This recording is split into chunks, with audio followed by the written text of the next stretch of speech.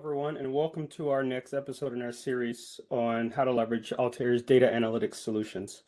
My name is LaRue Brown, and I'm Senior Director for Data Solutions here at Altair, and I'm going to spend the next few moments with you walking you through how we can leverage our RapidMiner platform, specifically a component called Monarch, to extract data from payroll.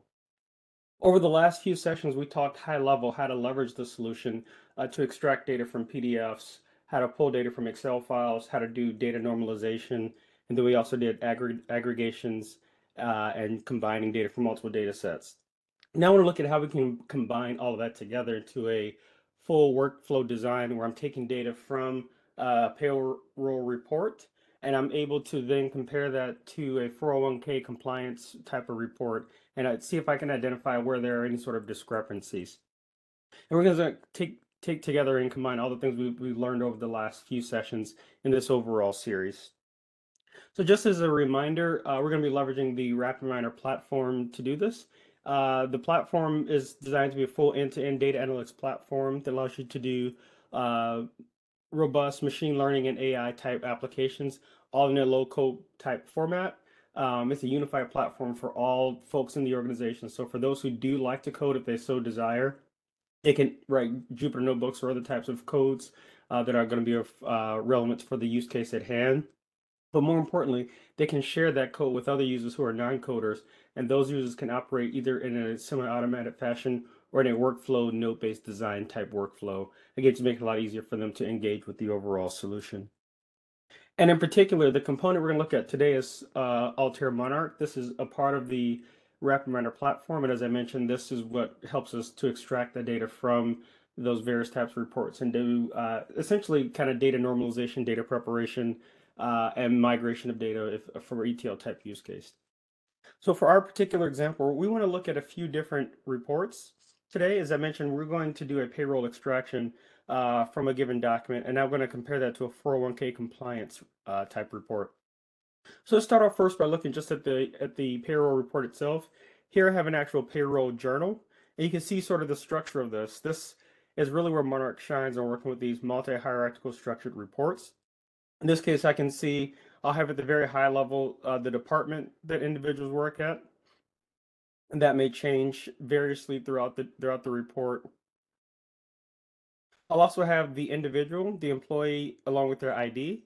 And then I'll have earnings information, withholdings, deductions, and then uh, just some additional information about the overall pay, whether they received a check or not, how it was sent out, the ID number for said uh, deposit, etc.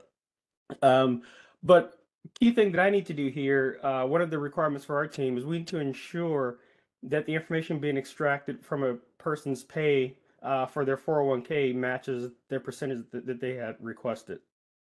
So in this report, this report will show me the actual deduction amount, and I can pull the underlying percentage that was assigned to each employee.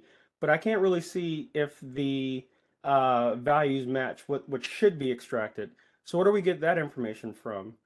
Well, it just so happens that the uh, the company that manages our 401k, in this case, we're leveraging Fidelity, uh, generates a report for us, and it'll show us exactly what the actual deferral amount should be for each employee. So you can kind of already see what we're looking to do here is I want to take the information that's being pulled from a person's uh, paycheck uh, and verify that what we're actually uh, uh, pulling for their 401k matches what they've had here. And the reason this is important is because a lot of times employees will change their deduction. You can see in this case, we're having old value and a new value. A lot of times they will change their deduction and there there's a regulatory period in which that change has to take effect um, for employees. So this is just a way to just kind of validate we are in compliance when someone makes a change. I want to be able to identify when those individuals make that change, and more importantly, ensure that we get that that's reflected in, in what we're pulling from their pay um, moving forward. So we're going to see if we can take these two documents, first combine them together, and then finally identify where there's a discrepancy from what was actually being pulled uh, on a given pay statement versus what uh, our 401k company reports as the person's actual selection for their uh, for their with, uh, withdrawal. Okay. So as before, we're going to jump right into uh, Monarch. And I have a couple of these tables already preloaded. So the uh, uh, report that we just looked at, the payroll report we just looked at, I can see a sort of a model already pre-existing for this. Um, We didn't talk about this the last few sessions, but I want to talk about just briefly how we can actually take uh, documents that we've uh, that we've created in the past and leverage them on new models. So you can see right now I have a section already for my earnings and deductions, and I want to actually just bring in the report that was already the report we just looked at a second ago. So I'm going to take that report and just drop it right on the actual payroll extractions uh, for the earnings, and it's going to automatically populate that report for me.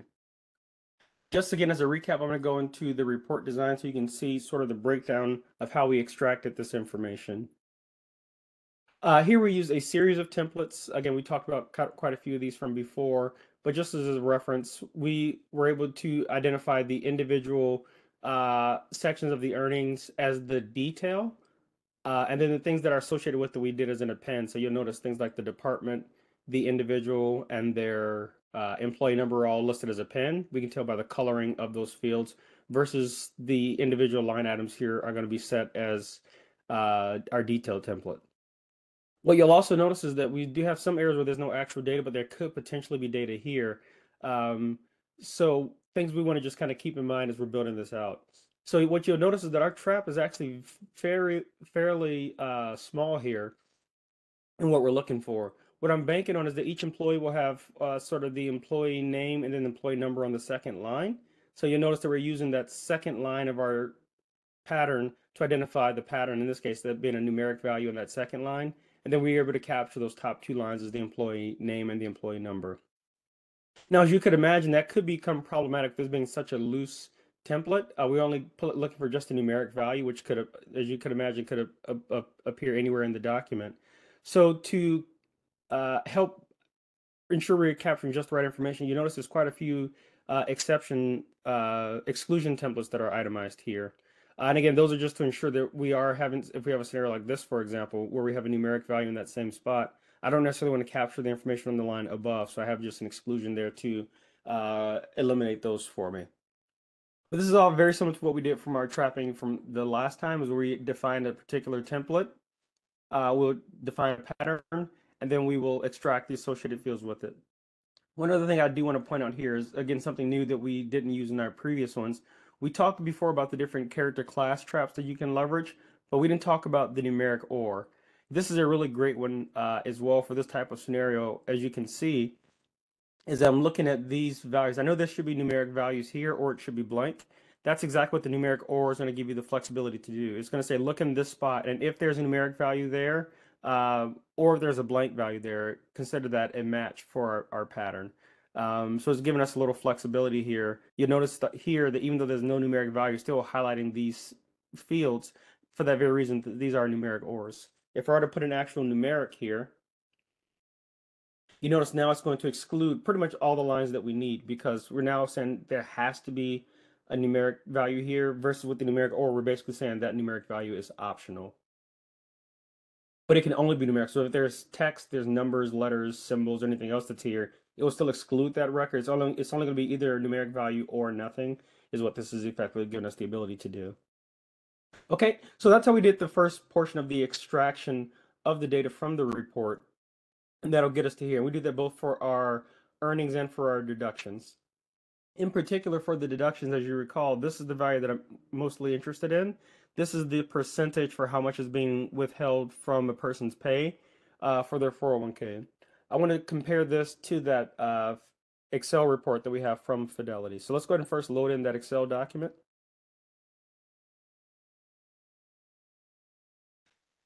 Now, last time, again, we talked about how I can preview the document. I can change sort of the import rules on it. I'm not going to do that this time because I want to show you something a little bit different.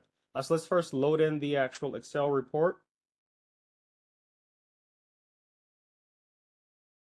And once that's loaded in, we can see exactly what happened here. The actual uh, header start on row two, and then the information starts row three and beyond. Uh, now, when you first load in the Excel report, you can actually tell it to skip a certain number of lines or where your header row actually resides. Uh, but in some scenarios, either you can't do that or you may have data up top that you still want to capture and do some uh, calculations on first before you actually define that header row. So I want to show you a slightly different way that we can get to that same result. Now that I'm in this table and I see that row two is where it actually contains my headers and three and below are where my actual data resides, what I can do is come to the margin of the row that has the header information, in this case, row two, I can right click and then set row uh, as column headers. And that'll transform the table for me, taking that row that we selected as the actual headers, and then the data will be associated directly below for each one of these. Now from this report, the column that we're mostly interested in is going to be that new uh, deferral value. Remember, this is what we're actually checking to see if this matches what we are pulling from their current pay. One other thing I want to do here is I want to convert this to numeric so we can compare. The one in the de uh, deductions report is already set to a numeric value. So in order to do that comparison, I just need them to be the same data type. Okay, great. So we have both now our deductions and our payroll, our uh, um, 401k deductions report. So what I need to do at this point is just combine these two documents and then see where there's a delta be or difference between the values that are being extracted. So to combine the multiple reports, I'm going to first select the Combine tab. And then we'll select the two tables of interest. So I'm going to start with my deductions table on the left and then my um, 401k information on the right. I'm going to go and join these by selecting the click to join button. Uh, remember, if you want to manually select the join key, you can, but there's always the option to recommend keys. And what this will do for you is tell you the most likely key for this to uh, populate on. In this case, it's saying the employee name from both the reports you can definitely leverage that if you want, uh, or if you want to do something uh, different, you can as well. You can manually select. So in my case, I want to do the uh, employee ID uh, uh, from both the left and the right table. I can leverage those as, as well. Okay. Once I have the report combined, I can then decide which attributes I want to retain from both tables. My left table is fine. It has basic high-level information about the employee and their payments. The right hand side, I'm really only interested in just the new uh, deferral amount. Um, the other stuff I don't necessarily need. So I'm going to deselect uh, all attributes here. And I want to select just the uh, new deferral value, that value, the one we just converted to numeric a second ago. And I'll create a new table. So just to recap here, what we have is we have uh, a new table that has both, excuse me, it has both our actual um, deduction percentage combined with the deduction that our uh, pay, our 401k provider says that we should have. So the last thing we want to do is actually compare and see where there's differences. So I can already see a couple here where there's a, di a discrepancy. But uh, instead of me going through each and every item on the list, I want to just filter this down and see where those exact discrepancies are. So let's first do a quick calculation. I'm going to leverage the calculator to do this. And I just want to see the difference between the 401k percentage and the deferral value. That should be zero if they are the same. Anywhere there's not zeros where we have a discrepancy. So let's go ahead and check. I'll do 401k value minus our deferral amount. And I'll okay, and I'll get a new column from that. And then as you can imagine, finally, I just want to filter this column down. And I want to see here exactly where uh, this does not equal to zero. Remember, zero meaning they match, so there's no discrepancy. So anywhere where it's not zero is where I would have a discrepancy. So the final final piece is I can now see out of these particular individuals, these accounts is where my actual discrepancies reside. I can focus my time, effort, energy on make sure I rectify the uh, de deferral amount that's being pulled from an employee uh, for the next pay period to make sure I'm in compliance.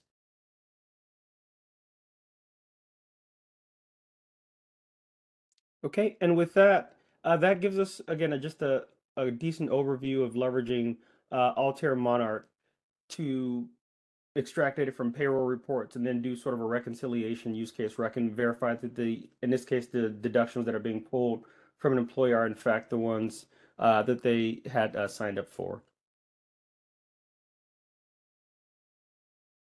As always, uh, the next steps for folks, if you do want to give the software a try, if you're already an Altair customer and have access to Altair units, you're able to leverage and download the software that we looked at today. Again, today we looked mostly at Monarch, but anything in our data analytics suite, you're able to have access to.